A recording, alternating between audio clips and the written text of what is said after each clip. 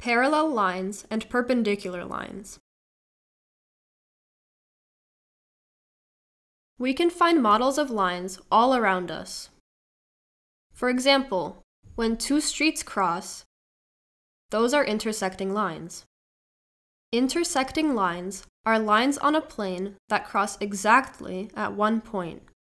In this case, line AB and line CD intersect at point X. Notice that intersecting lines form four angles. In this example, we have angle AXC, angle CXB, angle BXD, and angle DXA. What are parallel lines? Parallel lines are lines on a plane that are always the same distance apart. Notice that parallel lines never intersect. In this example, line AB is parallel to line CD. Let's look at perpendicular lines. Perpendicular lines are lines on a plane that intersect to form four right angles. In our model, line KL is perpendicular to line MN. Let's take a look at an example. We need to find the pairs of lines that appear to be parallel and the pairs of lines that appear to be perpendicular. Let's start with the parallel lines. Remember that parallel lines have to be the same distance away from each other, and parallel lines never intersect. From this model, we can see that line AB is parallel to line CD. We also notice that line MN is parallel to line RS.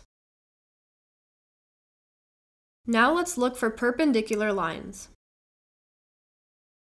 Remember that when two perpendicular lines intersect, they form four right angles. From this model, we can see that line MN is perpendicular to line TF. We also see that line RS is perpendicular to line TF. Let's try a different type of example. Draw and label the figure described. Line segment KM is parallel to line segment NS. First, we draw line segment KM. Because we need the two line segments to be parallel, we need to make sure that the distance between them is the same.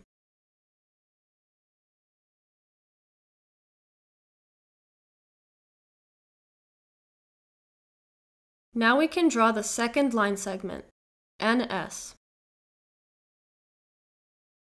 As you can see, line segment KM is parallel to line segment NS because the distance between them is the same and they never intersect.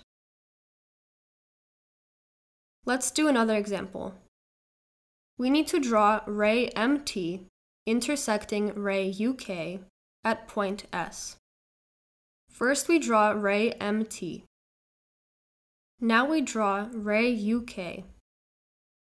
The point of intersection between the two rays is point S.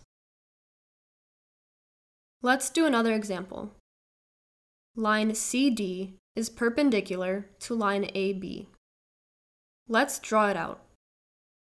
First we draw line CD. Now we draw the line AB. Notice that at the point of intersection, they form four right angles.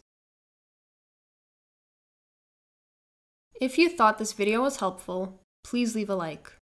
For more videos like this, please subscribe.